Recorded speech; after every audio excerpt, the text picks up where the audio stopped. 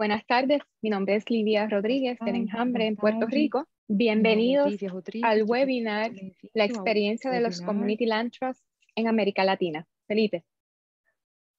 Boa tarde a todos, eu sou Felipe, queria é, dizer boas-vindas ao nosso webinário A Experiência dos Community Land Trusts na América Latina. Obrigado. Buenas tardes. Este webinar ha sido organizado por Boa tarde. Esse webinar ha sido organizado pelo Termo Territorial Coletivo Canho Martim Penha e conta com o apoio da Hambre e do Centro para a abertura do evento vai estar a cargo do Henrique da Silva. Henrique é diretor da iniciativa e como tal, e, além disso, lidera projetos como de ferramentas de recuperação com as OK Paris e os programas iniciativa do Instituto também. Ele é co-diretor em políticas de solo e desenvolvimento sustentável e da Universidade de Educação e Estância da Espanha. Henrique teve um doutorado na Califórnia, em Berkeley. Sem mais, adiante, Henrique. Muito obrigada, Lídia. Um cumprimento de Massachusetts. É uma honra poder acompanhar esse evento sobre, sobre termo territorial coletivo. Quero agradecer a Lívia e a Brenda e os, todos os organizadores pela ótima, pela é, querida é, convite. O Instituto é uma fundação sem fins de lucro em Massachusetts, nos Estados Unidos, o Instituto poderosa, liderada pelo político George no século XIX. Essa ideia é que, ao liderar as comunidades, as especulações das terras, os governos podem permitir que todos protejam. Também transformou a ideia da e criou e criou o Instituto de Política. Atualmente, celebramos, comemoramos o aniversário número 35 do Instituto numa área imensa de desigualdade, pelo que porque os encontros internacionais nacionais são importantes. Hoje, particularmente, vamos ver como é importante para o Instituto essas conversações sobre a tendência coletiva da Terra. Bem, do que vamos falar hoje?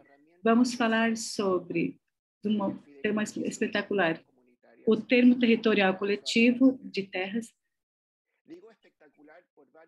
Eu falo espetacular por muitas razões. Primeiro, dizemos, nós falamos que o, o termo territorial coletivo, número um, ajuda a, a diminuir a especulação das terras e pode também ajuda a minimizar os ajuda uma justificação forte para o, para o título de para o direito de, de não somente para também ajuda na resiliência econômica e aos e aos lugares também contribui ao conhecimento de comunidades nas redes sociais que sustentam e também ajuda a manter o custo da, da vivenda. Ah, querem que eu continue, mas eu poderia continuar, mas, mas não, vai, não posso, porque senão não sai o tempo inteiro. Em todo caso, aqui é do que se trata, do que, que significa a definição mais simples do termo territorial coletivo é que são organizações comunitárias sem fins de lucro que, que procuram e conseguir que as pessoas tenham a regularização e possam manter suas casas e aproveitar de todos os a ideia do modelo original é que represente a coletividade. Como indica, o termo territorial coletivo é uma alternativa e a apropriação individual dos, dos recursos da terra de forma direta. Uma fonte e das por muitos anos estava muito interessado no termo territorial coletivo na mais profunda do papel importante que desempenha o solo, o desenvolvimento social e econômico das comunidades, especialmente aos setores e a ter uma terra digna, acessível. Apesar do nosso interesse de como se tem sido praticando, o Instituto, infelizmente, até um certo tempo, porém, por 2015 2016,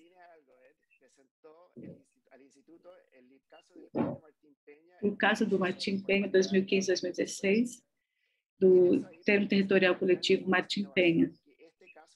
Esse caso não foi, foi importante para os debates sobre fideicomisso, mas também sobre debates ainda maiores sobre a regularização fundiária e as posses. O caso do Canho Martim Penha despertou o interesse sobre como melhorar e atender os avanços em Porto Rico. O caso do Canho se converteu num caso muito notário de política do solo, não só por colocar a vincular e exigir as organizações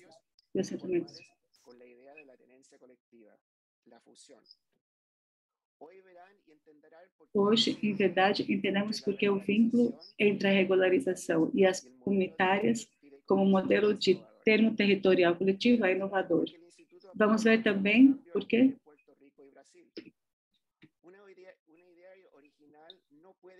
Uma ideia original não pode, especialmente com quem interpreta.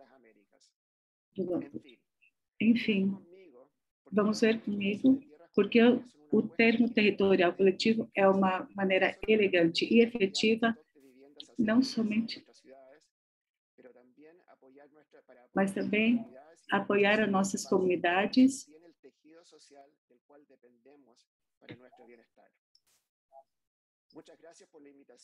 muito obrigada. É uma honra estar aqui.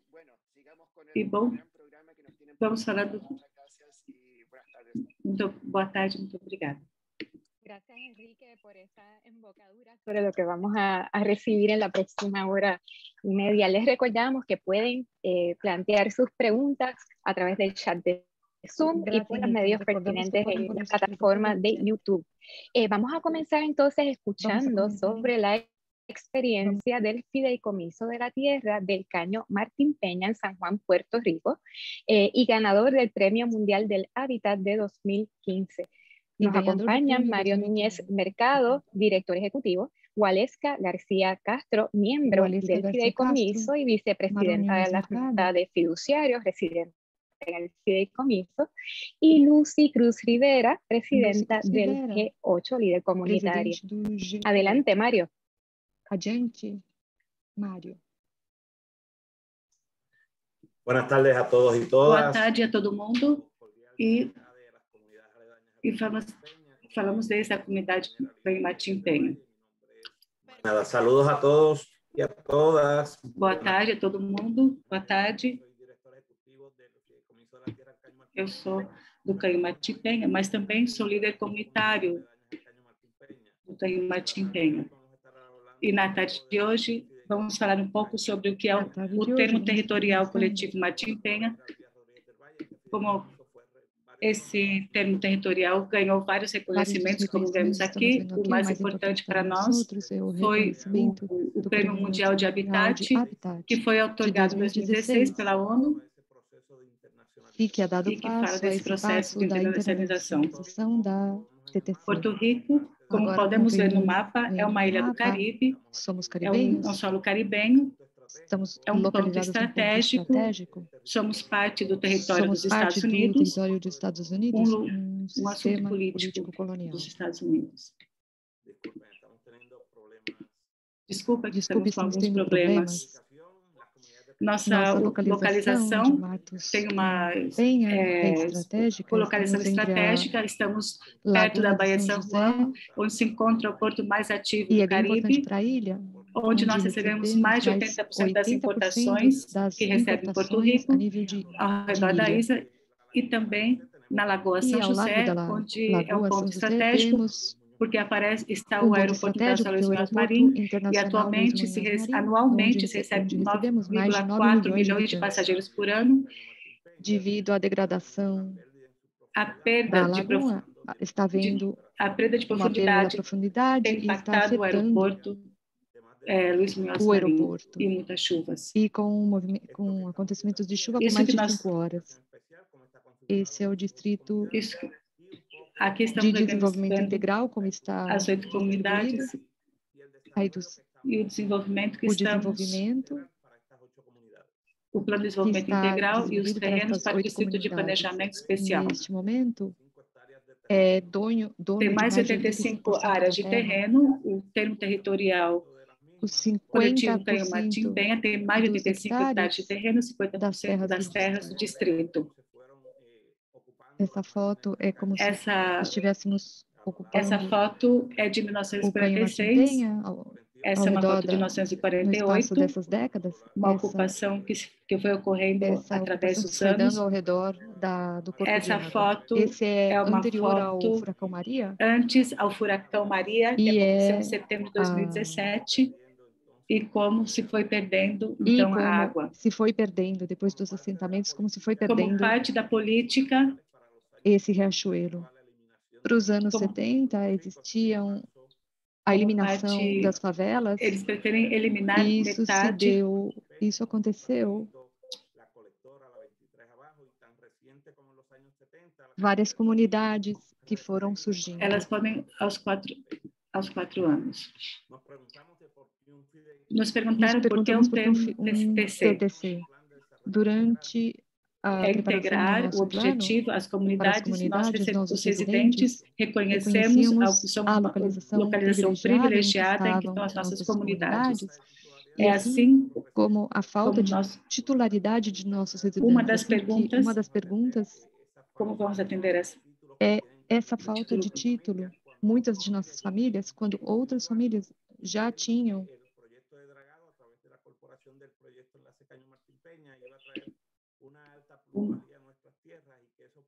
e que isso pudesse trazer uma ferramenta de as conversações que nós falamos o título individual, o modelo de vivenda cooperativa e no processo de discussão aprendemos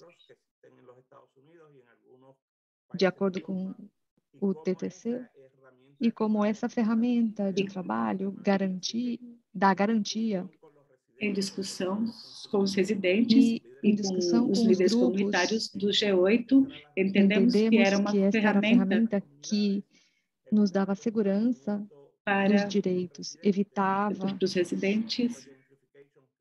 as remoções e assim como o Henrique mencionou, pela especulação que, que se fazia, pela força do mercado e pelos as forças de interesse político Somos três entidades, como podem ver no diagrama, trabalhamos no mesmo propósito, numa mesma comunidade, o G8, de base comunitária, que nos garante o cumprimento da execução do plano, do TTC, como ferramenta que regulamenta essa terra, a maioria ocupada por residentes, e o Fideicomisso de La, de la Terra, TCC,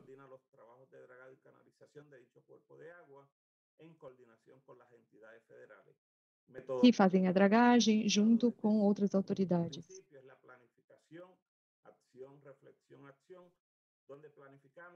Onde, onde planejamos, como evaluamos, corrigimos e corrigimos aquelas coisas que achamos que podemos melhorar. A comunidade e o governo, o setor privado, todos desenvolvem para o desenvolvimento dessa comunidade. Aqui estamos vendo uma conferência do Canho Martim Penha e a metodologia na base comunitária, nas mesmas comunidades, casa por casa, em assembleias comunitárias, onde a gente, onde as pessoas participam.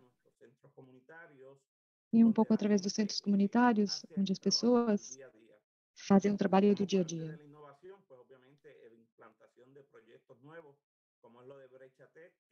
Como, de, como as pessoas antes da pandemia começaram a trabalhar, atualmente o fideicomisso há dado 129 direitos de escritura e temos mais de 150 membros. Cada família do canho é dono de um direito de superfície, onde tem uma escritura, e esse direito lhe permite vender, herdar, hipotecar, igual que a família é dona de sua estrutura, de, sua, de seu lar, como uma ocupação coletiva no coração da área metropolitana. E como lema, a terra não se vende no Canho Martim Penha, essa opção se converte numa opção de realocar as famílias e o dragado e os projetos de infraestrutura. E vemos esse processo como se dá, que estamos vendo uma das nossas comunidades, a desocupação provendo essas famílias.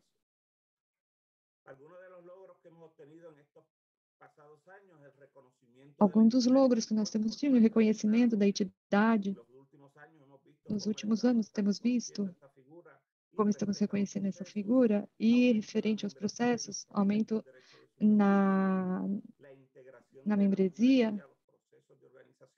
os processos de organização comunitária com o G8, e mais que tudo, a internacionalização do termo territorial coletivo. Assim que agradeço a oportunidade apresentar em pouco tempo o que é o nosso projeto e como é o comício. Graças, Mário, pela introdução do, do termo territorial coletivo, que eu queria comentar era a necessidade de alojar famílias para recuperar o Canho Martim Penha e queria perguntar ao Alesca, o Alesca, entendo que você foi realocada recentemente nas partes do Canho Martim Penha. Por que você decidiu realojar-se baixo o fideicomisso da terra? Não te escucho. Se puedes prender o microfone. Ah, buenas tardes a todos. Mi nombre es Gualesca García. Boa tarde a todos. Escolho o fideicomisso pela segurança de que não me venham acaparadores nosotros vivimos por la seguridad de, de sentirme pela pues, segurança de sentir-me e a realidade segura, é que, ninguém me pode tirar. Ante tudo, segurança. De verdade que às vezes tem pessoas que veem difícil estar baixo.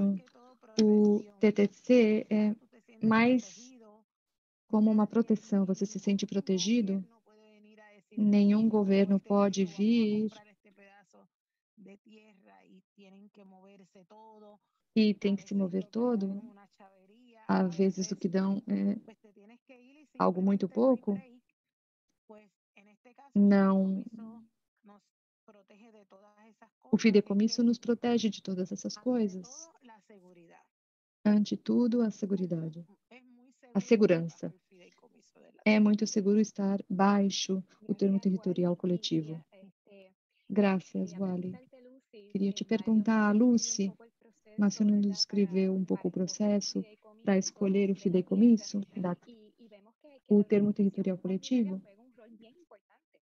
O que é bem importante, não somente na seleção do TTC, mas também a sua implementação. Porque você entende que tenha sido tão vital e como é o G8 e como o G8 se relaciona com o TTC. Boa tarde a todos e todas. Para nós é bem importante que exista uma organização comunitária e essa organização não existiria. O nosso TTC nasce desse, dessas pessoas que foram desplaçadas, que é o corpo de água que nos une. Segundo a organização, não podíamos, sem essa organização, não podíamos enfrentar esse, essas mudanças políticas e não poderíamos ser respeitados pelos nossos próprios vizinhos, porque a maneira como estamos organizados, eles sentem confiança no que nós estamos fazendo e no, e no que nós dizemos. Assim que é bem importante que essa organização comunitária esteja trabalhando por um só benefício, um, um benefício coletivo e não individual. Porque TTC, porque temos ferramentas, temos muitas opções. Qual é o título individual? Buscamos fazer a cooperativa, buscamos outras opções e a única que não se apresentava, como disse o Ali, era o TTC. Nos dava segurança coletiva que nós necessitávamos, porque tínhamos visto outros outros desalojos justamente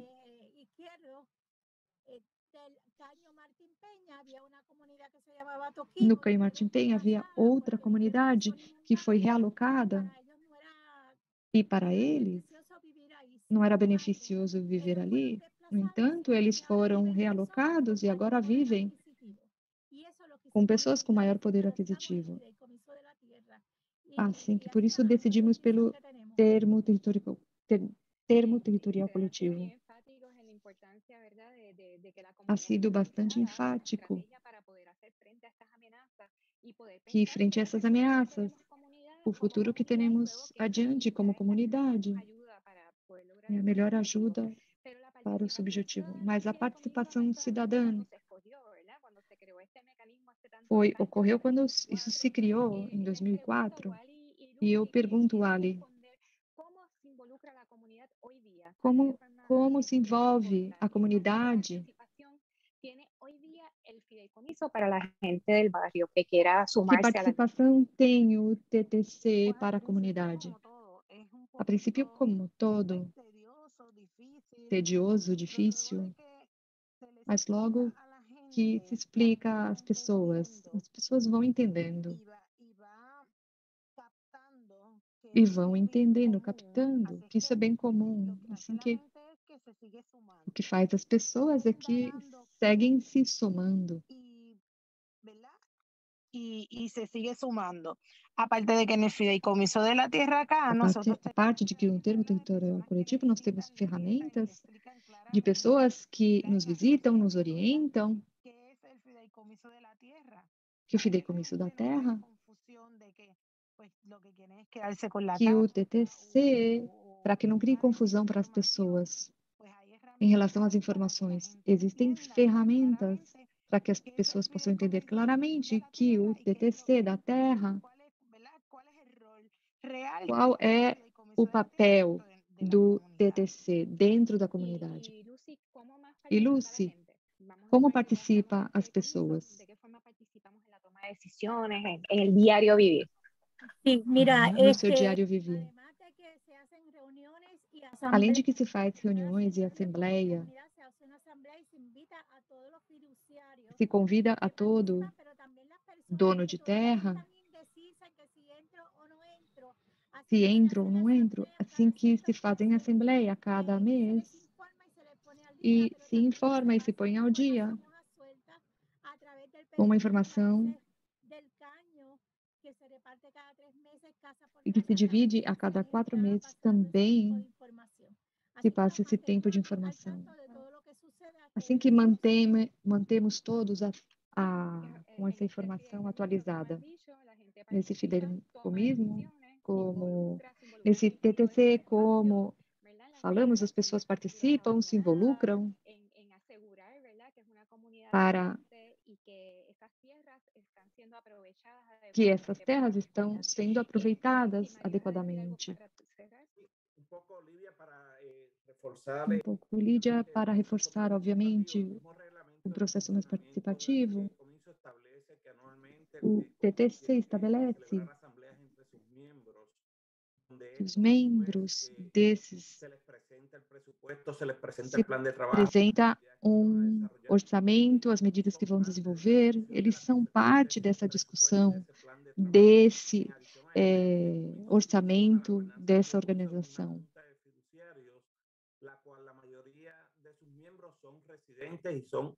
E a maior parte dos fiduciários são residentes. Tem diferentes espaços onde a mesma comunidade pode expressar o que, é que ela deseja no desenvolvimento, para o desenvolvimento das suas comunidades. Obrigada a todos por nos dar essa introdução do Canho Martins Penha e seguimos detalhando pelo fideicomisso. Deixo então, se você, deixo então vocês com o Felipe, para que possa falar da experiência no Brasil. Obrigado, Lívia. Obrigado, Lúcia. É uma alegria, um aprendizado escutar a história de Porto Rico, do Fideicomisso de la Terra. É, e, bom, depois da gente escutar como aconteceu o movimento é, da chegada do termo territorial coletivo em Porto Rico, vamos passar agora para uma sessão sobre o Brasil, né? que a gente vai tentar mostrar como que esse movimento chega no Brasil, é, chega nas favelas do Rio de Janeiro e para isso eu vou passar a palavra para Teresa Williamson. Teresa, ela é coordenadora do projeto Termo Territorial Coletivo aqui no Rio de Janeiro e vai estar tá contando para a gente um pouco dessa história. Teresa. Obrigada, Felipe. Obrigada. É, se quiser apresentar aí o slide da apresentação, agradeço. É, eu sou coordenadora junto da Tarsila Fidalgo, né? É, eu sou diretora da executiva da CONCAT, Comunidades Catalisadoras, a organização que, enfim, que é, faz a gestão desse processo do termo territorial coletivo no Brasil, no Rio, né? É, a Tarsila é coordenadora no dia a dia, ela é quem toca o projeto, né? E então, enfim, vocês podem nos buscar. Teresa? Sim. Uh, sim, lo siento. I am very sorry.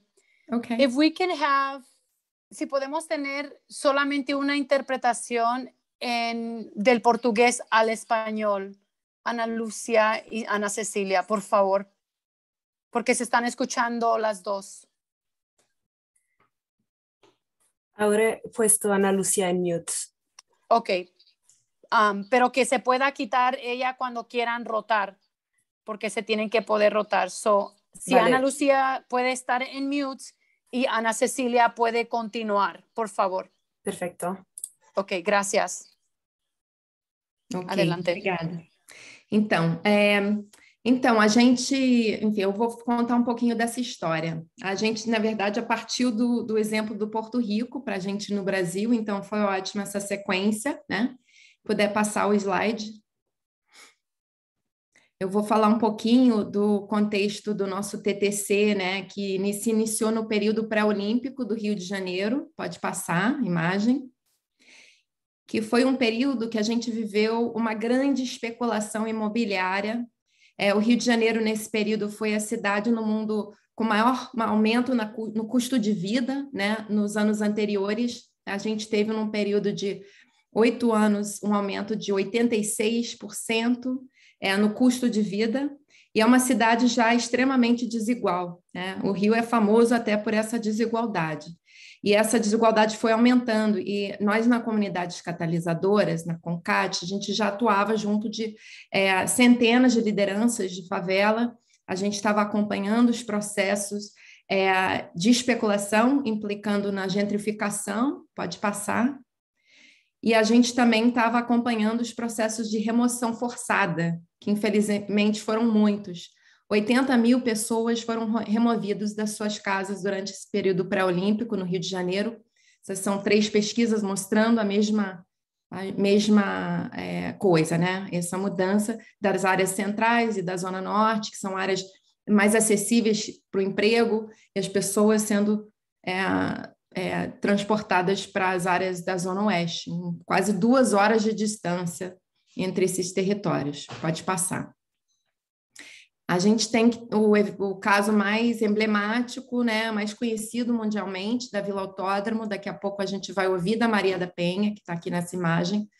A própria Maria da Penha falou numa reunião do TTC na comunidade Trapicheiros que a titulação não é garantia da gente permanecer na terra, porque eu tinha, ela no caso tinha duas concessões de uso de 99 anos, né, do estado, mas para ficar lá ela quase morreu. Pode passar. Então, é nesse contexto que a gente começou a estudar, a pensar o que fazer. E o, as Olimpíadas aconteceram em 2016 e a gente foi elaborando propostas, pensando é, soluções. E, graças a Deus, a gente conheceu o caso do Porto Rico, porque a gente tinha pensado no termo territorial coletivo na sua modalidade é, inicial, né? no, no hemisfério norte, nos Estados Unidos, na Europa, onde uma ONG, uma associação, ela compra um terreno, ela constrói o TTC do zero. E o que a gente pensou para o Rio é que seria interessante a gente pensar um retrofit, uma comunidade já estabelecida poderia se integrar e se regularizar através desse modelo. Só que a gente não tinha um exemplo. Né? Em 2016, a gente soube do caso do Porto Rico, né? que vocês acabaram de ouvir falar, é, explicado. Então, a gente. Peraí, pode voltar. E aí, nesse ano de 2018, a gente teve uma oficina apoiada pelo Instituto Lincoln, né? O Henrique falou agora há pouco, é, que foi quem deu força para esse processo inicial dessa chegada dos projetos. E o pessoal do Porto Rico, Mário, inclusive, vieram para o Rio, né? Para compartilhar o seu modelo com a gente numa série de oficinas. Pode passar. E aí foram nessas oficinas que a gente percebeu, né? é, ainda mais o potencial desse, desse, dessa ferramenta. Eu não vou entrar em detalhe nesse slide, mas basicamente eu queria enfatizar esse primeiro ponto. O TTC ele atende à preocupação primordial dos moradores, que é a permanência no local. As pessoas não tipicamente não querem o título para poder vender, elas querem o título para poder ficar. E se o título não traz essa, essa, essa vantagem, então as pessoas, enfim, tem comunidades que estavam até é, contra a titulação nessa época por conta da gentrificação. Pode passar. E aí, nessas oficinas, a gente foi percebendo que tinha um grande poder potencial do TTC no Rio de Janeiro para cumprir o dever público no fornecimento da moradia adequada e várias outras qualidades. Pode passar. O interesse de tempo, eu vou focar um pouco mais aqui no nosso processo. E aí a gente já começou a detectar comunidades interessadas no modelo, e no final de 2018 a gente formou um grupo de trabalho com 50 integrantes inicialmente que participaram nessas oficinas, conheceram o caso do Porto Rico. Pode passar. O que nos deu força em 2019 para a gente começar a realizar uma série de ações, né? Pré-pandemia foi foi muito importante, muito bom a gente poder realizar ações nos territórios. A gente fez mobilização próxima dos moradores da comunidade Trapicheiros, que é uma pequena favela na Tijuca, numa área valorizada que sofre o risco de remoção e especulação, e na comunidade do Grupo Esperança, é, na zona oeste da cidade. A gente, nesse ano, realizou 35 atividades, fizemos oficinas na Vila Autódromo e também na comunidade indiana. Pode passar. E aí, nessas oficinas, a gente fez um processo né, com os moradores, com base no que a gente aprendeu com o caso o Cânio Martim Penha. A gente fazia oficina e antes de falar do TTC com os moradores, a gente começava pelos pontos positivos, negativos da comunidade. E aí, por que, que eles queriam ou não o título? Para ver se o TTC de fato era interessante no contexto deles. Pode passar. A gente fez essa oficina no Trapicheiros, a gente pode e a gente também fez ações de planejamento territorial junto dos moradores, porque o TTC não é só a regularização, também é um processo de, é, de planejamento, pode passar. E a gente fez também é, no Esperança é, um, um trabalho é, focado na memória, porque é uma comunidade que foi autoconstruída, né? E a gente fez um trabalho de resgate de memória através de uma festa das memórias. Pode passar. E aí, em 2020, a gente enfim, foi os planos de todos nós foram impactados pela pandemia. A gente acabou voltando muitas ações para apoiar as comunidades na pandemia, para debater como é que o TTC poderia fortalecer comunidades num momento de, de emergência como uma pandemia a gente fez um evento no Outubro Urbano, é, a gente finalizou um projeto de lei, um, na verdade, é um modelo, um rascunho de um projeto, uma minuta de projeto de lei.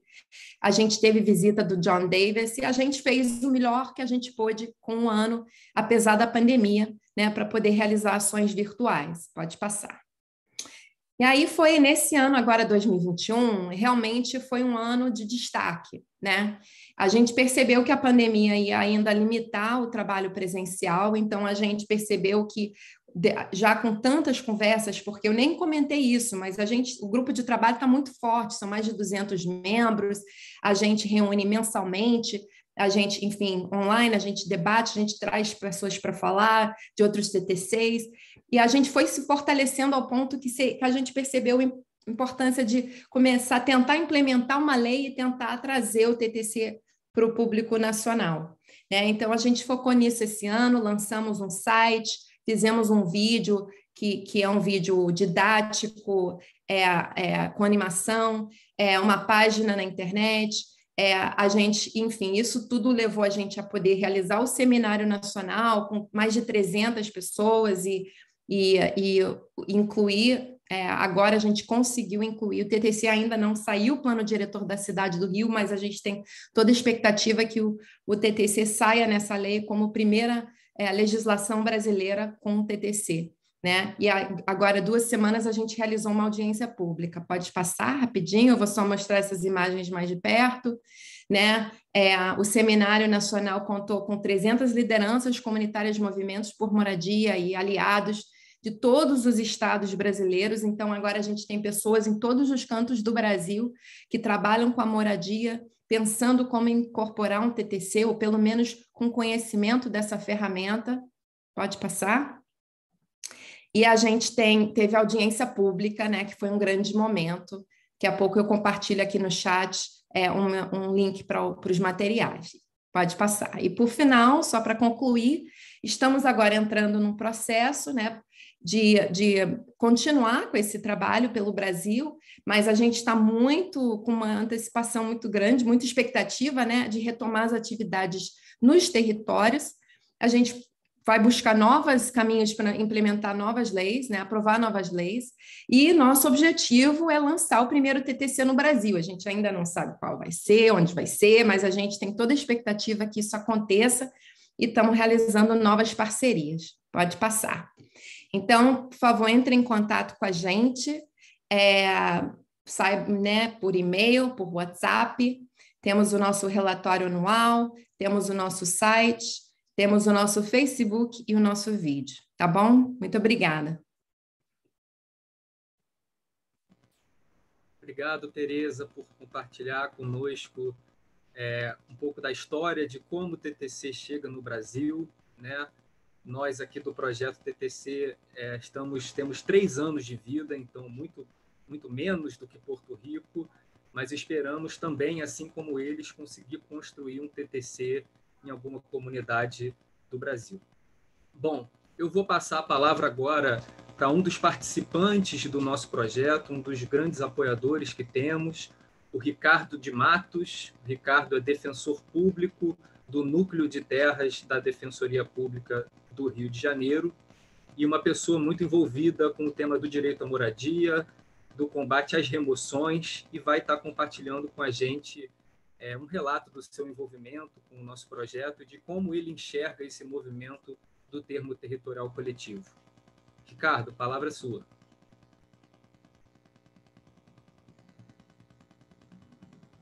É, bom, meu nome é Ricardo. Bom, é, eu estava mutado, né? Bom, obrigado, Felipe. Boa tarde a todas e todos. É, bom, eu, como o Felipe já adiantou, né, eu sou defensor público aqui no, no Rio de Janeiro é, sou atualmente subcoordenador do Núcleo de Terras e Habitação, né, que é um órgão da Defensoria Pública que é, trabalha justamente com o direito à moradia. Né? Então, a gente atua nos casos em que há ameaças de remoção, ameaças de demolições e é, reintegração de posse, enfim. Que tem algum tipo de lesão ou ameaça a, a esse direito de moradia de posse das populações mais carentes, né? Então, sempre focado nessa na parte na, da sociedade que tem essa de baixa renda, né? Para isso que a defensoria pública existe. Então, a, a luta contra a gentrificação e, e, a atuação até mesmo do poder público nessa nessa parte é diária. Né? Eu acabei me envolvendo com, com o projeto do TTC a partir de abril de 2020, né, do ano passado, é, quando vim para o Núcleo de Terras e Habitação, e fiquei é, absolutamente encantado assim com, a, com o projeto. Né? Eu nunca tinha ouvido falar antes sobre, sobre um instituto, nem no Brasil nem fora.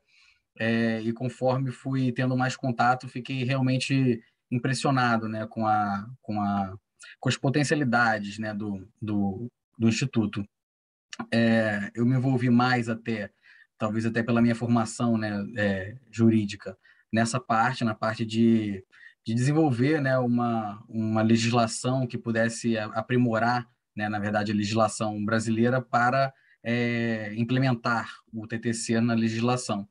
Mas o que me encantou nesse e, e passei e me fez passar a, a, me envolver até em algumas outras áreas, não só essa parte legal, é, é justamente o que o, o, o, TTC ele traz uma, uma lógica é, de valores né, diferentes da, dos, do que a gente já tem atualmente utilizado no Brasil, né, que é uma, uma lógica é, totalmente focada no, no valor de solidariedade né, e no valor de comunidade. Né? Então, o, apesar do, dos institutos que nós temos, eles servirem para regularização, eles ajudarem nesse, nesse aspecto, eles não são tão focados nesse senso de comunidade é, como o TTC. Né? Então, nessa fraternidade, é, que é um valor, enfim, constitucional, né? um valor protegido pela legislação brasileira. O, ele se diferencia tanto assim de, do condomínio e de outros institutos já antigos, né? antigos conhecidos do, do direito, é, justamente porque ele não só se preocupa com a gestão do espaço, outros institutos também se preocupam com isso, mas não se preocupam só com gestão do espaço e da, da convivência entre os, os, participantes, né? Ele foca muito justamente, né, e é o principal motivo, na proteção da, dessa posse, dessa moradia e da manutenção dos, dos, dos daqueles membros naquele, naquele local, né? Então, o, o, os, os institutos que nós tínhamos até então, eles uma vez implementados, né, então a, até a, a Teresa falou bastante da questão do título, né, uma vez que as pessoas recebiam o título é, de propriedade ou algum outro título de, de, que supostamente garantiria a proteção, aquele aquele imóvel ao entrar no, no mercado formal, né, imobiliário, é, rapidamente era era é, capturado né, pelo, pelo poder econômico. Então, a gentrificação era algo que acontecia corriqueiramente nas comunidades de baixa renda que tinham o seu que tinham formalizada a sua situação, né? É, e nas Olimpíadas a gente, né, no período pré-olímpico, a gente viu bastante isso acontecer aqui. E o TTC, ele justamente me encantou por essa, essa possibilidade de proteção após a formalização, né, após a regularização daquele local porque sempre foi, né, na, na, atuação até mesmo do, do núcleo de terras, é, sempre foi uma, uma escolha muito difícil, né, qual instituto usar e se era até mesmo vantajoso promover a regularização do local, sabendo que talvez aquilo deixasse a comunidade até mesmo mais é, vulnerável, talvez não é, em relação ao, ao, poder público, mas sim ao poder econômico. Então, o TTC realmente é, talvez seja a nossa salvação nessa parte de, de, de, de, se opor ao, ao poderio econômico e a essa, a essa gentrificação que ocorre, que vem ocorrendo, né, tanto no Rio de Janeiro. Obrigado, Ricardo, pelo seu depoimento. Agradeço todo o apoio a esse projeto e ao instrumento em si. E agora, sem demorar muito, quero passar a palavra para Maria da Penha. Maria da Penha é uma liderança comunitária aqui do Rio de Janeiro, da Vila Autódromo, uma comunidade situada na zona oeste da cidade, e ela se tornou um grande símbolo da luta contra as remoções aqui na cidade. Vai estar compartilhando com a gente um pouco o seu relato. Maria, Maria da Penha, você está aí? Sim. Boa noite a todos e todas e todos. É, quero agradecer o convite. É um prazer poder estar aqui participando dessa, desse, nesse momento. É, o, o, é muito importante essa, essa, o TTC, principalmente aqui para nós no Brasil. Eu, é, meu nome é Maria da Penha Macena, sou moradora da comunidade da Vila Autódromo há, 30, há quase 30 anos, e a minha comunidade foi praticamente toda removida, só ficamos 20 famílias, porque a prefeitura e o, o Estado em si, o nosso país, eles nossos governantes não respeitam né, os direitos do cidadão. E para mim ficar como a, a Tereza passa uma fala minha, né, que mesmo na nossa comunidade tendo duas concessões de uso e uma lei complementar, que é a área é, 74, que é uma que essa área nossa é uma área de AES de que a terra é definida para moradia popular, mesmo assim, nós não fomos respeitados, nós fomos literalmente violentados. Né? E eu consegui ficar, porque assim, a concessão de uso, ela te dá direito a você morar ali, mas a, a, a pressão da prefeitura, a pressão das imobiliárias, é, é, muito forte. A remoção ela vem com tudo. E com nós, pobres, que não temos é, um conhecimento e muitas das vezes temos medo de ser. Nós somos reprimidos, literalmente, pelos nossos governantes, então a gente não consegue ter força para lutar contra os nossos próprios governantes. Quem deveria respeitar a nossa vida, nossos espaços, a nossa história, é, é quem nos tira do nossos territórios, das nossas casas, que nós construímos com muita dificuldade para poder estar ali. E quando aquela área que nós construímos se valoriza, a, a prefeitura, os governantes vêm e querem nos retirar a força. Eu consegui ficar porque apanhei, quebraram meu nariz, passei assim por muita dificuldade, mas eu e minha família e mais 20, mais 19 famílias entendemos que a gente tinha direito a essa terra. E se a gente tinha direito, a gente ia lutar até o fim para que a gente conseguisse ficar nesse território. Mas foi muito sofrimento, com muito desgaste. É assim, é uma pressão muito forte e nós éramos 700 famílias nesse território e só ficamos 20. É, com essa luta, a gente consegue criar o Museu das Emoções, que é outra ferramenta de luta que nos apoia, que nos dá força para continuar lutando. Tivemos muita visibilidade e muito apoio de muita gente, e só assim nós conseguimos ficar. Então, quando eu conheço o TTC através da COCAT, e, e, e me deparei, entendi o que era o TTC, eu achei maravilhoso, é uma ferramenta maravilhosa que dá a proteção às comunidades, principalmente ela pode ser implementada com a comunidade, com a favela que já está ali. E isso facilita para que a gente consiga continuar morando na nossa terra, porque o TTC ele tem o poder de tirar o valor da terra e a gente pode ser o proprietário dessa terra sem vendê-la, né, para ninguém e sem ser pressionado pela prefeitura. Isso tudo só vai acontecer se os nossos governantes respeitar também o TTC, porque a gente sabe que infelizmente por essa luta tão grande que muitas coisas acontecem, tanto o Poder Judiciário, de alguma forma, o juiz não respeita, como a prefeitura.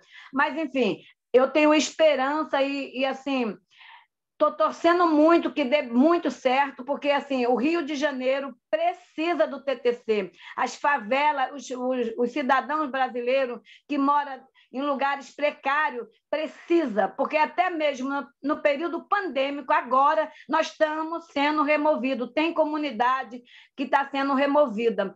Então, o TTC ele vai ser essa ferramenta de fortalecimento para todas as nossas comunidades, para todas as nossas favelas. E eu estou muito confiante que vai dar certo e não vejo a hora do TTC ser implementado dentro do Rio de Janeiro e no Brasil. E é isso, gente. Eu não quero me estender muito, porque eu sei que é tem outras pessoas para falar, mas eu Estou muito feliz por poder fazer parte do TTC, desde o início que eu, eu, eu participo das reuniões E estou muito feliz e agradeço muito a Tereza, ao Felipe e toda a rede da, da CONCAT que tem esse trabalho incrível e que soma muito com as nossas favelas. Um grande beijo a todos e obrigado por me ouvir. E que o Senhor Jesus abençoe a todos. Nós que agradecemos, Penha. Obrigado pelo seu relato, por essa fala tão, tão poderosa. Eu acho que ela deixa muito claro como nós precisamos de novos mecanismos para garantir que as comunidades fiquem onde estão, permaneçam no seu território e também trazendo um pouco o que o Ricardo trouxe, como a gente precisa de mecanismos que enfrentem não só essa remoção pelo Estado, mas também essa remoção que vem do mercado, que é uma remoção mais sutil, é, que a gente não vê muito na, na prática, mas que é igualmente perigosa. Bom, pessoal, vamos passar para o nosso próximo bloco aqui nessa live e vai ser um bloco aberto com algumas perguntas que vamos fazer a todos os palestrantes, tanto de Porto Rico quanto do Brasil. Nós selecionamos algumas perguntas-chave para a gente fazer um debate e eu vou começar fazendo a primeira pergunta que dialoga muito com essa fala da Penha, também do Ricardo.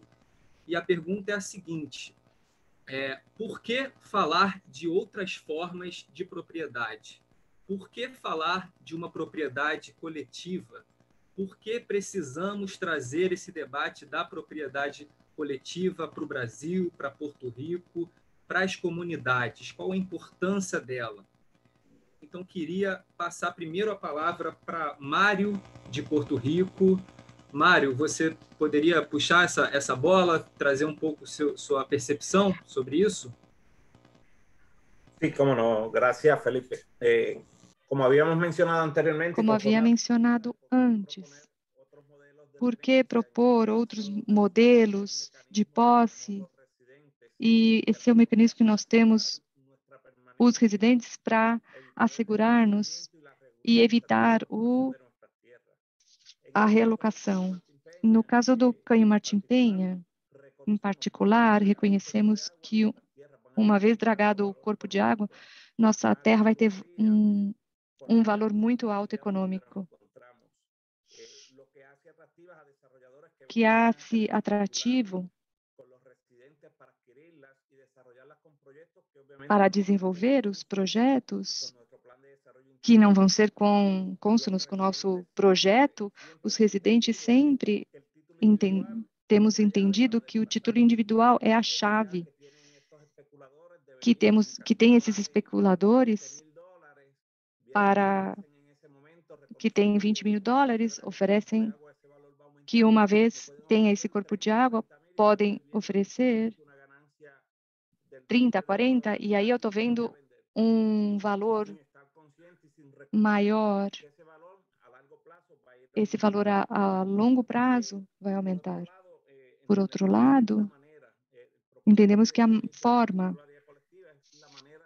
é uma maneira de nos assegurar a justiça social que por muitos anos temos vivido nestas terras e que por décadas estamos ocupando estas assentamentos na margem dos serviços do governo, porque por muitas décadas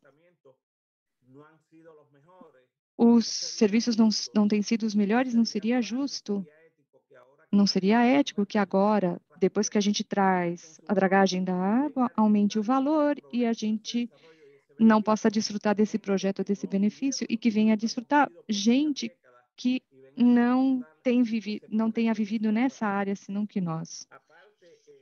A parte, entendemos também que ajuda os residentes a superar a pobreza, porque o, o TTC ajuda ajuda os residentes a superar essa pobreza e a melhorar as suas condições e a qualidade de vida. Obrigado, Mário, por compartilhar, por compartilhar essa percepção. Queria perguntar se alguém mais de Porto Rico, Valesca ou Lucy querem complementar sobre esse debate da propriedade coletiva, porque ela é importante.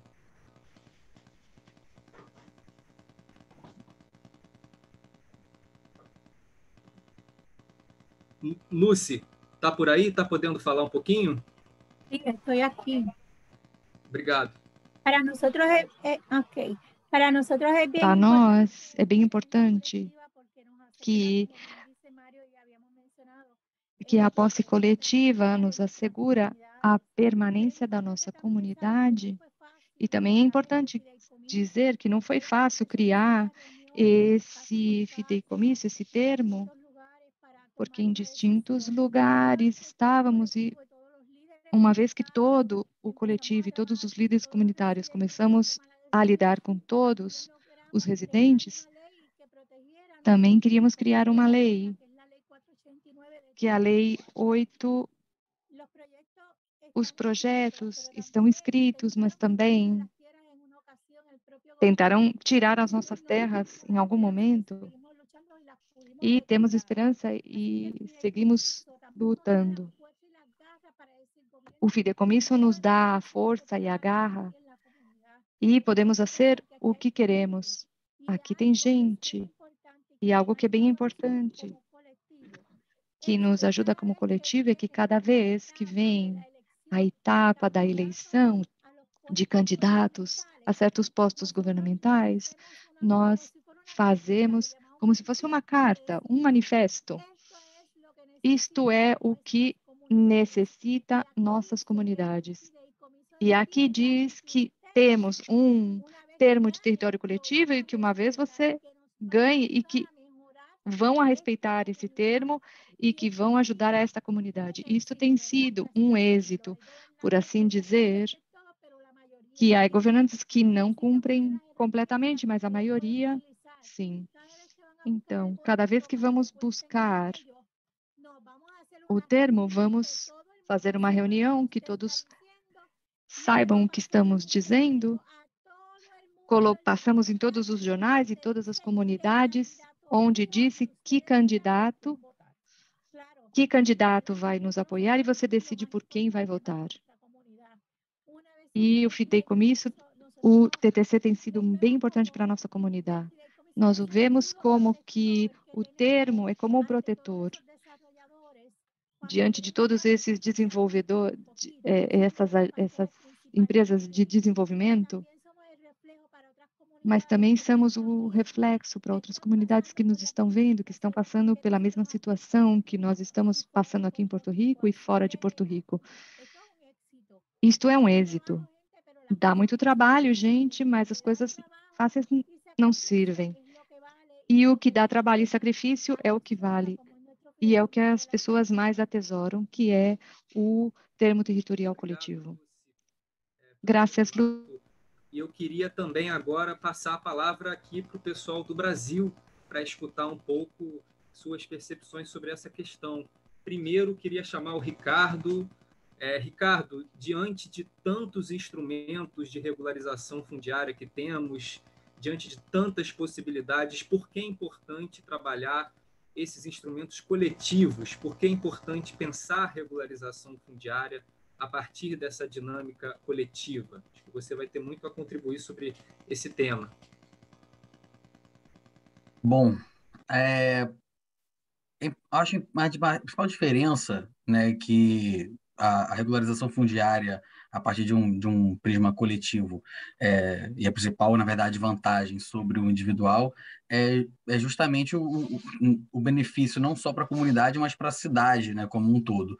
O, a partir do, do, da regularização fundiária individual, que pelo menos na experiência que nós temos aqui no, no Rio é, e na experiência do núcleo de terras, ela é mais rápida, né? ela é mais fácil, a, a regularização fundiária, no geral, ela é, é, bem burocrática, né? Na nossa, a nossa legislação exige, exige muitas etapas e uma, e um, uma cooperação é, do poder público muito grande, então é, a gente também fica um pouco ao sabor da, dos, do, da vontade política, né? É, tanto a individual quanto a coletiva. E a coletiva ela sofre um pouco mais é, desses, desse, dessas variações políticas, então ela tem um desafio né, maior. Então, quando tentamos fazer um, uma, uma regularização coletiva, ela, quanto mais é, imóveis envolvidos, quanto mais gente envolvida, ela tem, ela é um pouco mais é, complexa.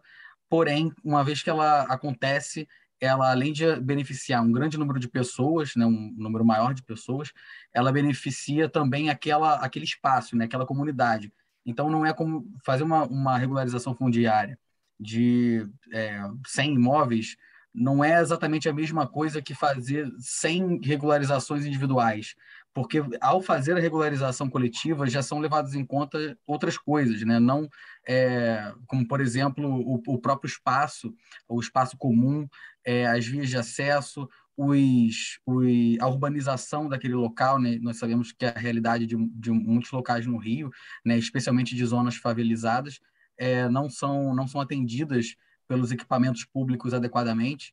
Então, já, já é levado em consideração também isso, né? a disposição de serviço público, serviço de água esgoto, saneamento né? no geral, é, arruamento, tudo isso. Então, isso além de favorecer não só a, todas aquelas pessoas naquele local, favorece justamente o, o, próprio, a própria noção, a própria ideia de cidade que se tem, né? Nós não queremos só 100 pessoas a mais com um título de, de propriedade ou outro título numa, na, na cidade, no local. Nós queremos uma cidade funcionante, né? um, um, um bairro, um bairro que seja é, é, funcional para todas aquelas pessoas que ali residem. Então, não basta apenas ter um, um teto para morar. Né? A gente defende muito que moradia é diferente de moradia digna, é diferente de moradia adequada. Então, moradia adequada, além de um, da, do teto e da proteção possessória, além do teto é a proteção possessória, né, proteção de, de permanência e o atendimento pelos serviços públicos. E a, a regularização fundiária coletiva permite é, se atentar mais para esses aspectos que se complementam ao direito à moradia pura e simplesmente. Né? Obrigado, Ricardo. Acho importante esse, esses pontos que você traz, como a regularização é muito mais do que dar um título individual e precisa dessa dinâmica urbanística é, e como esses instrumentos coletivos podem auxiliar esse tipo de processo. Ainda temos dois minutinhos nessa pergunta e queria ouvir, para finalizar, Dona Penha, é, queria te perguntar por que, que é importante manter essa dinâmica coletiva dentro de uma comunidade, como ela pode ajudar essa comunidade. É, eu acho super importante, até porque nós já temos várias experiências né, de que nossas comunidades não são respeitadas, principalmente por isso, como o Ricardo falou, nós temos a concessão de uso, mas que é fácil de nos tirar ela. Então, essa facilidade, porque você pode vender o seu imóvel para a prefeitura, por exemplo, né? Ele, eles te, te, te forçam a vender. Por, então, quando a terra é toda no coletivo, quando a gente consegue trabalhar nesse coletivo, fortalece muito. Porque, tem, é, no meu ponto de vista, eu percebo que é muito importante, porque temos é, o Poder Judiciário junto conosco, porque vai ser uma lei, por exemplo, o TTC, ele, ele é um conjunto, ele não é só a regularização, é, ele é um conjunto onde vai ter comunidade, apoiadores e o próprio governo. Junto, a gente vai construir e o, e o morador vai poder ter voz. Não, eu quero que a minha comunidade fique assim. Se vai ser urbanizada, eu quero dar opinião, que é o correto. Porque a terra, no meu entendimento, é para todos. Moradia digna, todos temos direito. Infelizmente, é, nós não somos respeitados. Se todos nós tivéssemos a, a, a ideia, principalmente os nossos governantes, de trabalhar verdadeiramente para o povo com decência, e nós temos capacidade para isso, que temos dinheiro, temos. O Brasil, por exemplo, nós somos riquíssimos em terra. Então, todo morador, todo brasileiro tinha que ter uma casa digna. Mas nós não temos, porque as nossas, nossas políticas públicas é uma porcaria. E nós também, muitas das vezes, com medo, não cobramos. Então, acho que é fundamental esse trabalho coletivo do TTC, porque ele fortalece em todos os sentidos a urbanização, ele força a prefeitura urbanizar uma favela, e, e, e, o morador participar, que é fundamental. Né? Então, isso tudo eu acho que soma muito, eu acho que vai enriquecer muito para todos nós, vamos ganhar muito com isso. E é importantíssimo, porque tira a força da, da própria prefeitura comprar a nossa terra na marra, da imobiliária nos ofertar um dinheiro e a gente achar que está fazendo um bom negócio, cair e, e perder a nossa moradia, porque ele, o que eles ofertam, muitas das vezes, quem não tem o entendimento, entendimento do que é um dinheiro bom, acaba vendendo, gasta o dinheiro, não compra outra moradia e vai morar na rua. Porque aqui na Vila Autônoma eu conheço pessoas que pegaram uma boa indenização mas não tem casa, continuam na rua. Por quê? Porque acha que aquele dinheiro era muito. Então, é muito importante que a gente tenha essa consciência. E é um trabalho que ele educa a, as comunidades. O TTC, no meu ponto de vista, ele ajuda também a educar a comunidade, a levar a orientação que o, o morador de favela, o morador de comunidade, vai conseguir compreender melhor os seus direitos para poder cobrar. Eu acho que é isso, gente. Não, eu, Gracias, María. Excelente e vemos com muita claridade. Obrigada, Maria, e vemos com muita claridade as experiências do Canho Martim Penha e agora o que você está comentando de Brasil. Queria um pouco voltar do que eu disse no princípio, quando eu estava explicando como funciona o termo territorial coletivo, que historicamente está sendo utilizado nos lugares do norte. E a minha pergunta seria: que fatores vocês pensam que são muito particulares que, que temos que considerar quando se cria um TTC nesse tipo de assentamento? Ou seja, lugares existentes, que implicações há e que instrumentos temos que levar em consideração? Tereza, me gostaria de escutar. Não, então, assim, são muito diferentes, né? É por isso que eu acho que é tipicamente difícil a gente imaginar trazer o TTC para um outro contexto, a partir do modelo original. E por isso é tão importante o trabalho do Fideicomisso de Porto Rico, por ter traçado esse caminho, para a gente ter esse modelo. Porque no, no, norte global é aquele modelo de o, o custo alto inicial para comprar terra, para adquirir terra, para construir. Uma comunidade vai ser construída ali do zero, né? É, no, no, no, contexto das favelas, né? Porque no Brasil também tem gente falando de fazer no modelo norte-americano, de pensar né, nesse sentido. Mas a gente vem pensando mais ele como um modelo para regularizar né, as moradias e as comunidades já existentes, porque, por exemplo, no Rio de Janeiro, é quase um quarto da cidade já tem moradia nas favelas, só que são irregulares. E muitas dessas pessoas, como a Maria da Penha, né, querem ficar, querem permanecer, querem ver aquele território melhor, cada vez melhor, mas sobre a ótica dos moradores, sobre a gestão contínua dos moradores, mantendo aqueles ativos, aquelas qualidades que foram construídas ali. Então, o, o né, no, enfim, são, eu acho que o, o, o trabalho mais intenso no, nesse contexto das favelas é um trabalho de relacionamentos, de troca, de conhecimento, de aprendizado, de chegar, as pessoas vão ter que optar por esse modelo para elas. Então, é um outro processo. Os moradores têm que escolher isso né? Escolher esse caminho para a sua regularização. É um, é um processo totalmente diferente nesse sentido. Não tem um alto custo financeiro para investir, tem, é um, não é custo, é um investimento de tempo, de carinho, de, de atenção, de troca. Eu acho que o Cânio teve 700 reuniões né, né, antes de chegar nesse modelo, implementar. E então ele é um trabalho que requer esse investimento inicial de tempo, de carinho, de, de debate, como a gente vem fazendo no Rio, mas depois, pelo menos, o custo é menor, né? O custo financeiro é diferente.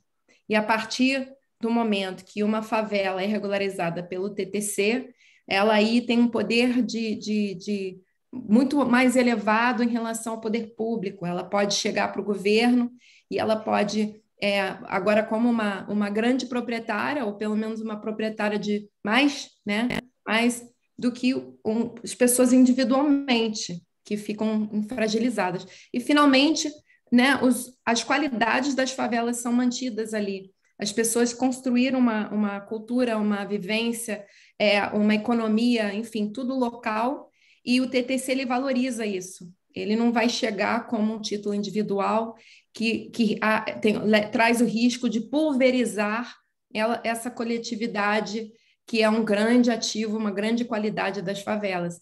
Ele chega, traz a formalização que ajuda no desenvolvimento, mas não prejudica os, as qualidades que já foram construídas, pelo contrário, mantém.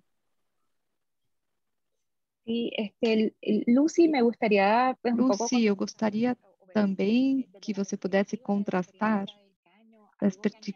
a perspectiva desse canho, as implicações que o TTC em comunidades que já estão formadas, que já criou a sua gente e que buscam regularizar a titularidade. Um documento que eu digo que é meu. Eu queria, se você pudesse complementar o que a Tereza, sob a perspectiva do Canho Martin Pay, e antes, e deixar todos a saber que o Aleska perdeu a conexão de internet e por isso não a vemos. Oxalá ela possa entrar e podemos vê-la novamente. Para nós, no fideicomisso, é a única opção que tínhamos diante de tudo que nós. No, no caso de nós, as terras pertenciam ao governo de Porto Rico. Assim como tirar as terras do governo não foi fácil. Foi muita luta, muita entrega. Ainda seguimos lutando, porque agora as terras são nove e a lei nos garante as pessoas que resgatam esses espaços sem saber que eles pertencem a toda uma comunidade.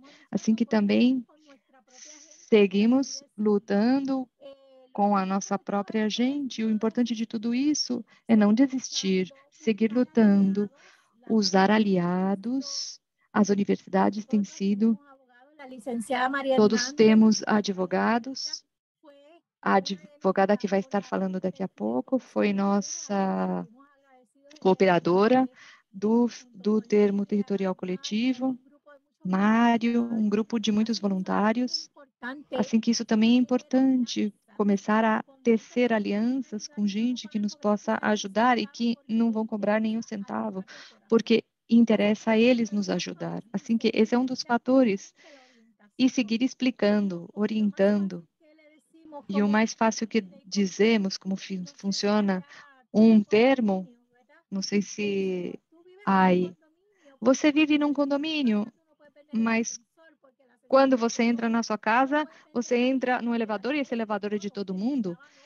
E você entra na terra porque a terra é de todos, então você dá valor. É mais fácil entender comparando isso com um condomínio de um edifício. Tanto é assim que já foram criados outros termos territoriais coletivos. añadir eh, algún comentario adicional? Sí, Mario. Si me permite, ah, Sí, claro. Si me, sí, si me permites un poco. Si me permiten un poco, un, un pouco também. A replicabilidade do fideicomisso de terra, reconhecer que cada comunidade tem sua particularidade. O, fide... o TTC é um modelo que se pode replicar, mas não se replica da mesma maneira. Isso vai depender dos interesses e a particularidade de cada comunidade. Todos os benefícios, como o TTC faz uma tenência da terra, integra uma posse maior da terra, integra maior. Já o vizinho se converte numa família. E temos residentes imediatos vivem em Carolina, vivem em Bayamón. Quando há uma situação de emergência, quando há uma necessidade. Quando há, tem uma situação de emergência, nós temos residentes que vivem dentro da comunidade, mas outras pessoas vivem fora da comunidade, filhos, tios, e aí como a comunidade vai se integrando, cada comunidade tem sua particularidade. Cada comunidade tem uma particularidade e que o TTC nos ajuda a ajudar a essa comunidade de acordo com as medidas. Certamente não é a mesma coisa criar o, o TTC trabalhar com gente que construiu sua trabalhar com gente que construiu a sua casa, que tem umas expectativas, que tem umas e umas redes sociais e que o que está buscando é a permanência e atender os outros aspectos. Aspecto. Bom, queria perguntar aqui um pouquinho sobre os desafios muitas das características positivas dos, dos TTCs e o que vocês mencionaram por aí. Eu gostaria agora que mencionasse, talvez, com Maria. Maria, que desafios vocês têm enfrentado na sua comunidade a ter essas conversações, a desenhar um termo de território coletivo, um, o que, que você pode compartilhar com nós referente a isso, a esses desafios? É, eu acho que teve uma fala dela que eu não entendi. Eu entendi que ela quer, me fez uma pergunta, mas eu não entendi muito bem. Bem, deixa eu, vou, deixa eu falar rapidamente. Ela te perguntou quais, quais você considera que são os principais desafios para se fazer um TTC no Brasil. O que, que a gente precisa superar né, para construir um TTC? É, primeiro passo, acho que a gente já está começando a dar, né? Que é trazer esse TTC, como a Tereza trouxe, como a gente está trabalhando, eu acho que é fundamental, e ele entrar dentro da, da política. Por exemplo, ele está entrando, nós estamos conseguindo que ele está entrando no plano diretor da nossa, da, do nosso Estado. E isso eu acredito que vai ajudar muito a, a ele ser implementado de verdade. Porque o, o, o, que, o, o que é muito difícil é que as nossas leis aqui no Brasil, por exemplo, elas não são respeitadas. Né? E essa é, uma, essa é a nossa grande dificuldade, porque a gente tem a concessão de uso, não é que ela não tenha valor, ela tem valor, mas para ela ser valorizada, eu tenho que brigar muito por ela, que foi isso que aconteceu comigo. Né? Eu tinha uma lei complementar, eu tinha uma, uma titulação da minha terra, mas para mim ficar, eu tive que brigar o tempo todo, e eu, eu e minha família, praticamente, porque as outras pessoas pessoas acabaram cedendo à, prefeitura. Então, eu acredito que o, é, o TTC sendo legalizado e, e, o apoio também, é, quando vamos trabalhar no coletivo, tudo que se trabalha no coletivo fortalece. E isso faz uma grande diferença, porque nós temos os apoiadores que vai nos orientar, nós temos os moradores junto, já não é individual, isso já vai ajudar muito. E nós temos também o poder público, que a gente vai poder cobrar mais, a gente vai ter mais voz. Então, eu acho que isso é é, são coisas que vai facilitar. E o TTC, é, como ele tira o valor da terra e o grupo é, é, é, é único, o dono da terra não é eu e nem um vizinho, são todos os vizinhos, são toda a comunidade. E isso faz uma grande diferença, porque aí ele não vai poder comprar um barraco do lado. Dentro da favela, por exemplo, é, ninguém vai querer vender o, o, o, empre, o empreendedor, não vai querer comprar um, um, um, um terreno grande dentro da favela, que ele sabe que não vai poder construir dos outros, porque ele não vai conseguir comprar do outro vizinho, porque está todo mundo junto. A terra não vai perder o valor. E com essa perda do valor, a gente vai poder continuar morando na nossa favela, na nossa comunidade e manter as nossas próprias histórias, os nossos laços afetivos, que é isso que faz a grande diferença da gente morar e todos poder morar bem.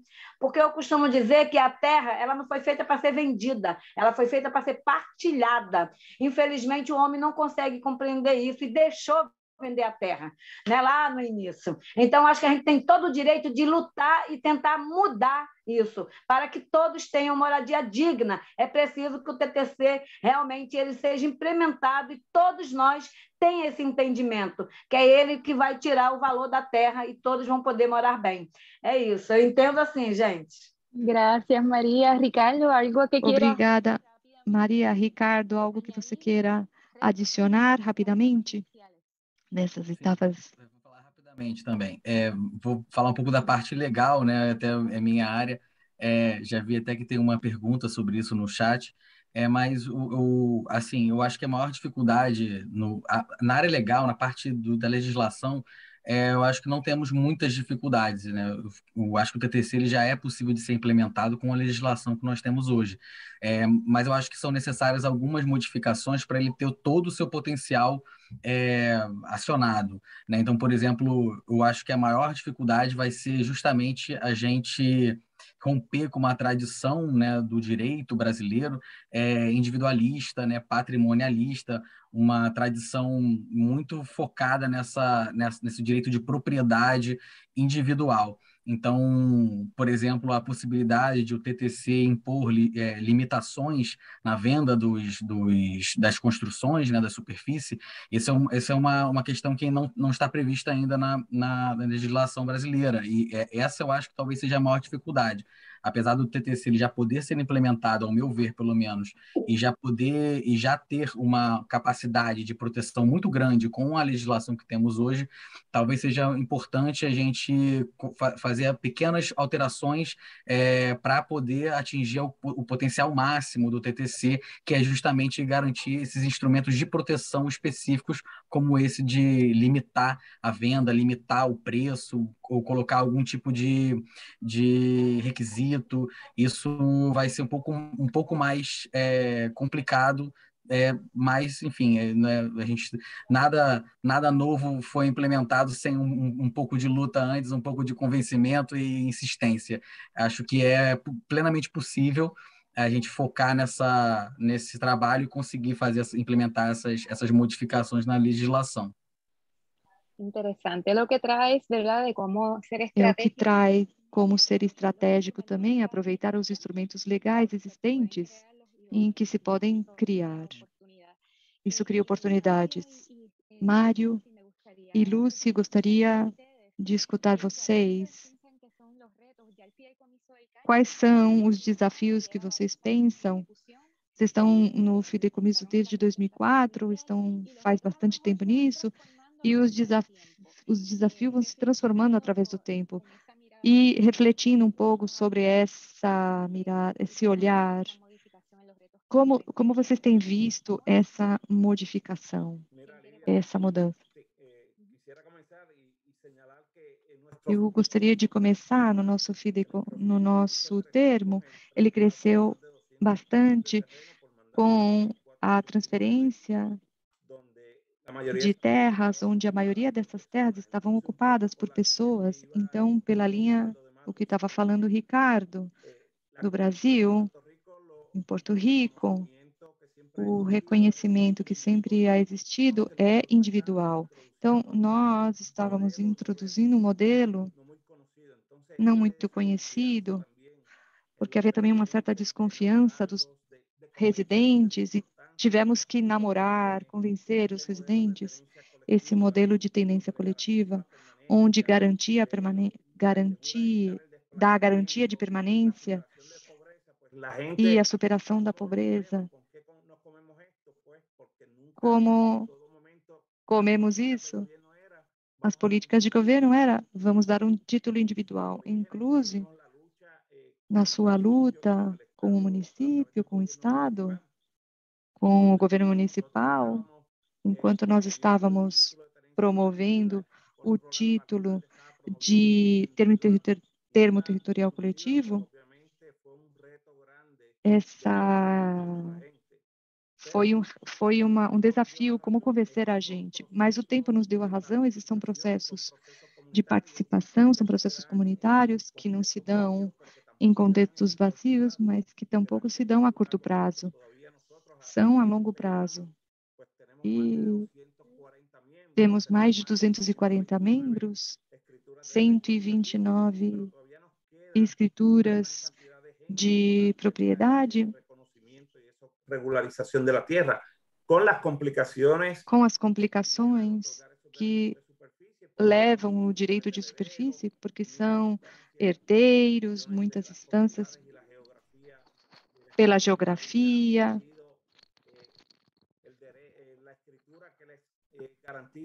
a escritura que garantia que são os donos da propriedade, temos, temos tido que combater. E em extensão a isso, e, e, além disso, a extensão territorial, que agora mesmo está dispersa ao longo de oito comunidades. Administrar essas terras em função da comunidade é um desafio pela pouca quantidade de empregados e recursos humanos que temos. Assim que todos os dias vamos inovando, aprendendo, fazendo ajustes, fazendo modificações de como administrar de acordo com o interesse dos residentes.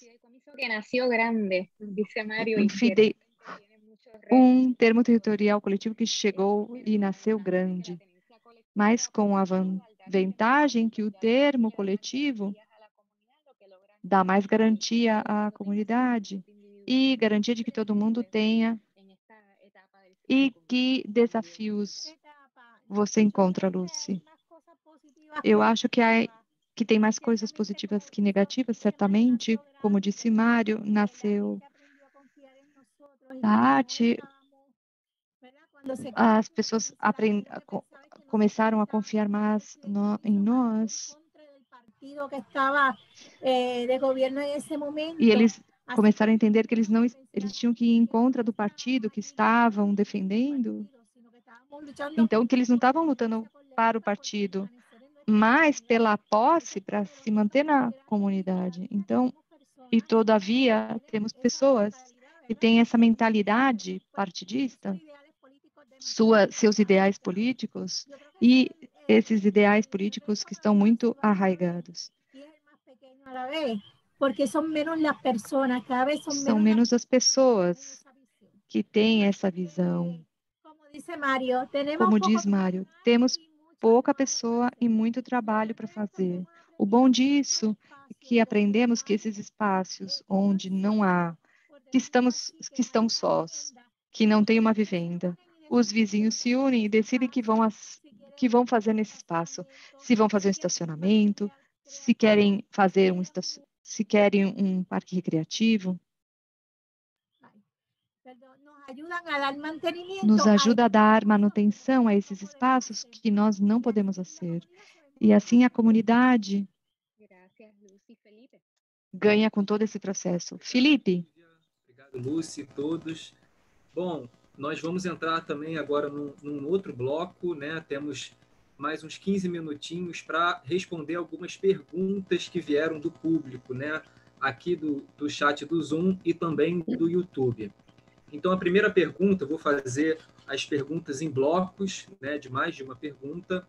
E uma pergunta que apareceu algumas vezes é sobre a questão do financiamento é, do termo territorial coletivo, financiamento para adquirir as terras e financiamento para manter as casas, manter a administração territorial, uma pergunta que apareceu.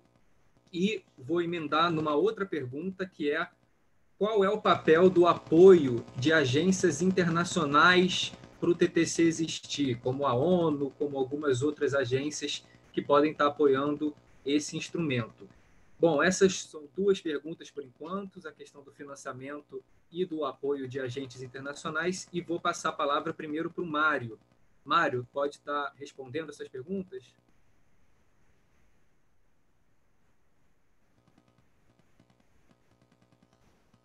En el caso del caño Martín Peña, pues obviamente no nos aplica, porque obviamente... No caso do canho Martim Penha, isso não aplica, porque essas terras foram dadas pelo Estado e, obviamente,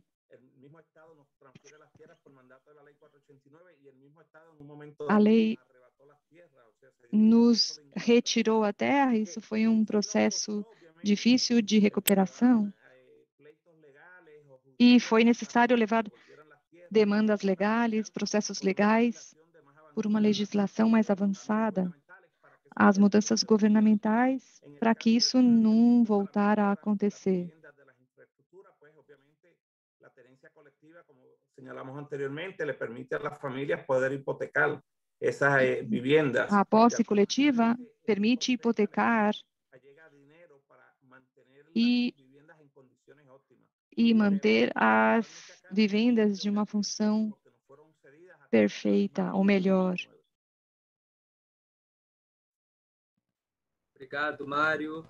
É, Lucy, você gostaria de complementar de alguma forma, a essa pergunta, tanto sobre essa coisa do financiamento para manter as casas y también eh, la importancia es que es lo mismo que dice Mario, en el caso de nosotros, pues las tierras fueron pasadas eh, del gobierno. Estas son comunidades de más de 100, 100 años fundadas. Essas são comunidades de mais de 100 anos, de geração em geração. E o que decidimos é lutar por elas, por nossas outras gerações, nossas casas, dejar para herencia, ¿verdad? Pero la tierra sigue siendo para Mas a terra segue sendo del Canho Martim Penha. Obrigada. Graças. Oi, alô?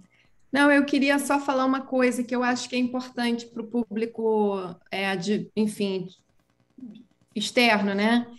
que no contexto de muitos países, né, no caso do Brasil é, é igual no Porto Rico, é, quando, quando nesses, é por isso que tem um grande potencial, inclusive o TTC nas favelas, é que é, o direito é, é conquist, quando ele é conquistado, a terra é, é entregue, né? Ela é o direito da pessoa, não tem que comprar a terra. Então, a gente recebe muito essa pergunta porque esse é o maior desafio dos TTCs no norte global.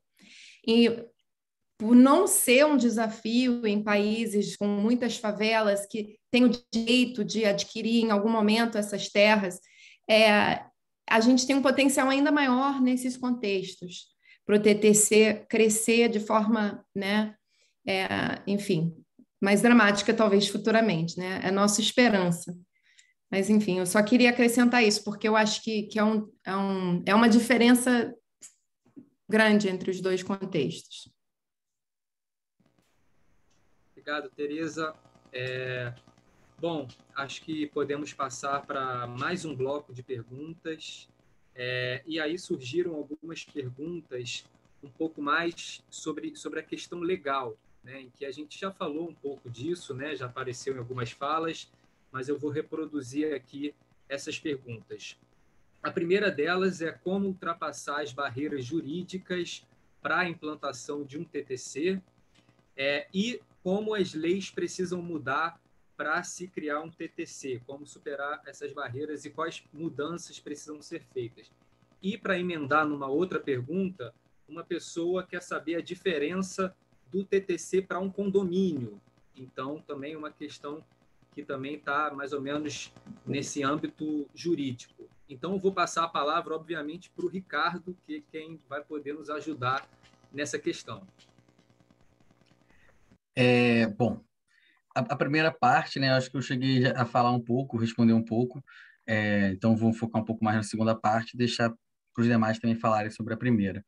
Essa, essa questão da diferença para o condomínio, eu acho muito é, importante, muito clara, pra, porque é muito comum que, à primeira vista do, né, do TTC, é, se pense que, ah, mas isso aí é, é condomínio, né? O que a gente já tem aí há 100 anos.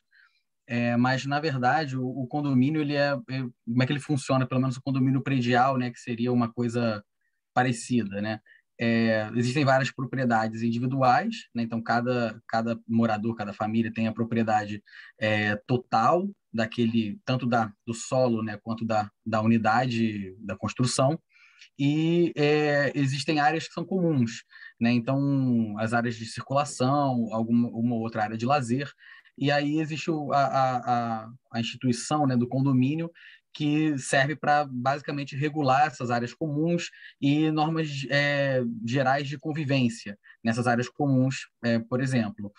É, mas esse condomínio ele não tem nenhuma ingerência realmente é, grande sobre as propriedades de cada um, né? então sobre o que cada um vai fazer com a propriedade dela, se vai vender ou não, por qual preço, para quem vai vender. É, ele não tem essa ingerência, ele só realmente trata sobre aquelas partes que são comuns o, o, condomínio, ele na verdade, ele está totalmente inserido nesse contexto de, de, de, direito patrimonialista, individualista, né? É, muitos dos problemas é quase que da porta para fora e da porta para dentro, né? Então, da porta para dentro, o condomínio, né? A instituição, o condomínio não não se não pode se, se meter né? na, na vida do daquele daquele proprietário. É, e só da porta para fora. E o, a diferença principal para o TTC é que o, essa, o, o TTC, né, a, a gestão é, coletiva, ele tem poderes sobre, o, sobre a, a, a parte que seria né, individual, porque ele detém a terra, ele detém o solo, e as pessoas né, detêm a, a propriedade, não propriedade não, enfim, mas detém o, a superfície, né, então a construção. É, detendo a terra, o TTC ele pode, é, ele, por exemplo, ele não, não vende a terra, né? não precisa vender a terra para para quem o, o, o, dono da casa é, deseja vender. Ele pode, desde que feita alguma modificação, pelo menos na legislação brasileira, ele pode, por exemplo, impor limites à venda como é, o preço máximo é, de venda ou para quem vai ser vendido, né? Alguns TTCs a gente pode é, conferir no é, exemplos, né, no mundo de TTCs que só permitem aluguel, não permitem a venda, ou TTCs que só permitem a venda para pessoas físicas, não permite então venda para pessoa jurídica, para empresas, esse tipo de coisa, né? Então o TTC ele pode ter uma ingerência maior, justamente é, buscando essa proteção da manutenção da moradia daquelas pessoas e da manutenção especialmente do daquele espírito comunitário, né? Então, impedindo que se perca essa essa, esse espírito daquela comunidade, a tradição que aquela comunidade tem, é, o, o, e também o, o viés é, residencial que aquela, aquela comunidade ou aquele bairro tem.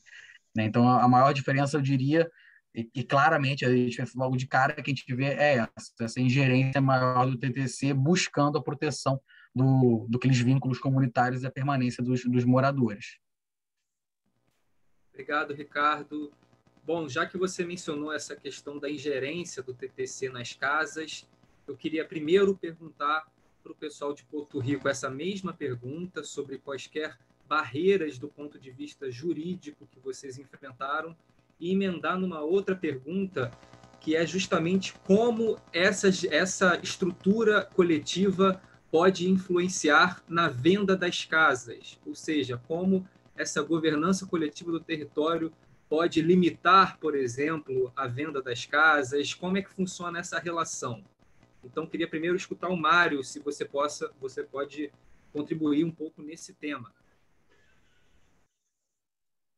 Pues mira, en el caso particular del caso particular do fideicomisso Martim Penha, as famílias têm a liberdade de vender sua propriedade. O regulamento de funcionamento estabelece uma figura onde a família, a primeira opção de venda tem que ser ao fideicomisso, ao termo.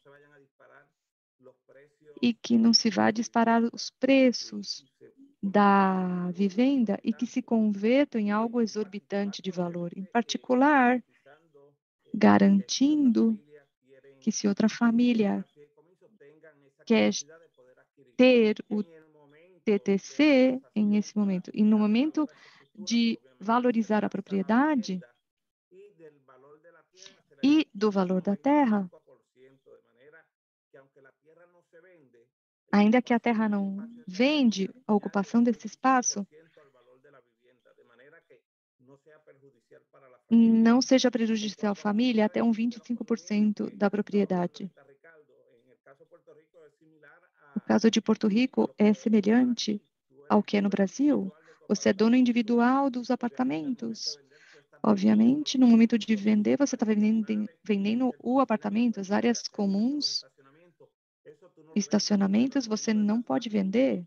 No momento de avaliar a propriedade, adiciona valor, se adiciona valor a essa propriedade. A terra adiciona valor a essa vivenda porque o interesse aqui é preservar a comunidade e evitar a realocação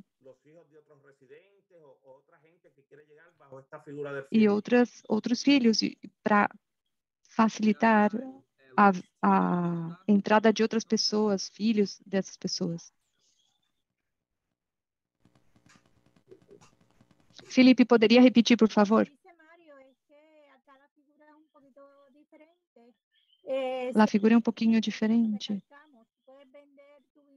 pode vender sua vivenda, pode alugar, pode hipotecar, mas aqui tem um regulamento que estabelece a própria comunidade.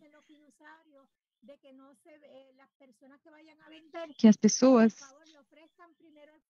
que vão vender, que ofereçam primeiro ao fideicomisso, para se o fideicomisso tem a condições de comprar essa casa, para oferecer para outra pessoa que necessita. Se nós não temos o, o recurso e se essa casa não está suficientemente boa ou não é a necessidade que temos, então você pode vendê-la. A primeira prioridade é para. Ok. É, é, é importante recalcar, É importante a transação de venda ou de compra-venda tem que se dar a mesma figura do termo territorial coletivo. É o que sempre vamos preservar.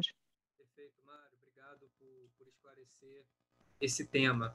É, eu queria esclarecer para quem nos assiste pelo YouTube que o que o Ricardo escreve aqui no chat que no condomínio é, os moradores eles têm a propriedade de uma fração do solo. Então, quando eles vendem essa propriedade, eles vendem pelo valor total da propriedade. Por isso, mais uma diferença entre o condomínio e o TTC, que no TTC se vende apenas a superfície, a construção. E aí o objetivo é claro de manter a habitação acessível. Bom, estamos quase nos aproximando do final. Eu vou só passar uma perguntinha rapidamente para a Tereza, que é se existe alguma cooperativa ou associação no Rio para criar um TTC já em andamento, já funcionando. Acho que isso é algo que você pode responder rapidamente. Vou falar rapidamente. É, estamos no processo, né? É, mais recentemente, a gente teve uma reunião com o Grupo Esperança, que é uma das comunidades interessadas e que já está pensando qual formato de, de entidade, de organização, né? Eles, inclusive, votaram pela associação, por uma pela criação de uma associação. É, foi foi é, uma reunião que aconteceu agora, no último final de semana, inclusive, com uma participação de mais de metade das fa famílias da comunidade votando pelo, pela associação. Agora, enfim, é o início do processo para a gente pensar pessoa jurídica, como é que vai ser, quais regras eles vão aplicar. Mas, no caso, o Grupo Esperança é uma comunidade autoconstruída, que na época que se iniciou o processo, eles já definiram muitas regras internas de como eles queriam ser, né, quanto comunidade, como grupo. Então, com certeza, algumas dessas regras vão ser é, integradas, mas talvez eles mudem, enfim, estamos iniciando um processo que deve ser muito ativo agora no ano que vem. Obrigado, Tereza, pelo esclarecimento. Bom, é, terminamos assim quase todas as perguntas. Tivemos uma pergunta no YouTube se o TTC pode ser implementado numa comunidade já regularizada. Eu vou responder rapidamente que sim, que o TTC ele precisa que uma comunidade esteja regularizada para ele ser implementado. Ele depende dessa formalização da propriedade nas mãos da coletividade. E agora, enfim, encerramos essa parte das perguntas. Eu quero passar a palavra para Maria Hernandes, que vai fazer o encerramento desse evento. Muito obrigado. Sim, muito boas noites. Agradecemos a todas as pessoas que han sido parte. Boa noite, agradecemos todos que que participaram que participaram desta deste grupo.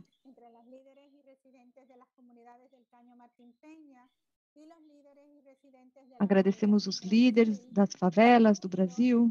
Segundo, que este intercâmbio de experiências sirvam a outras pessoas, a outros livros, líderes comunitários e do Caribe, para pensar em outras formas de gerenciar a terra e principalmente da tenência coletiva. E também é possível que venha acompanhada não somente como exercício de ter uma vivenda, mas também com a participação e o exercício de nossa cidadania anti-especuladores da terra, que impossibilita a pessoa de escasso ingresso aceder a um, a um lar digno.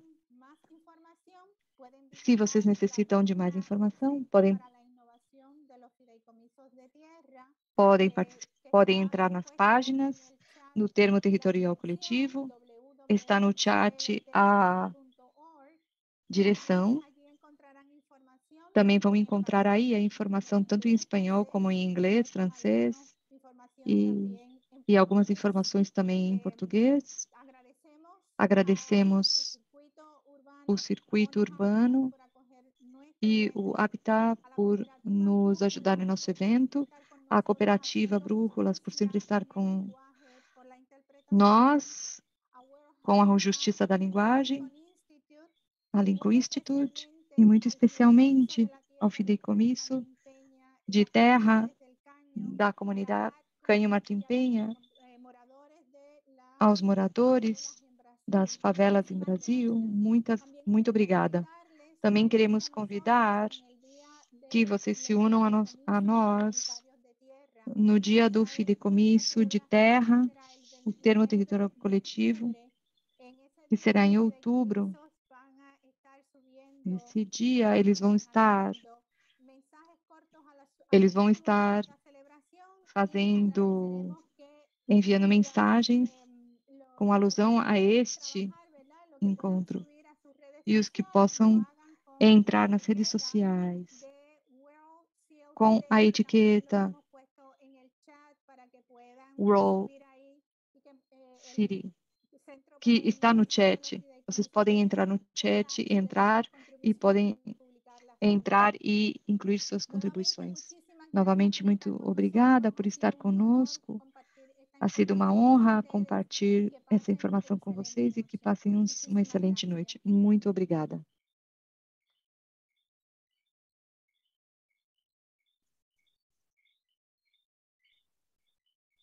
Buenas noches a todas todos. Boa noite a todos e todas.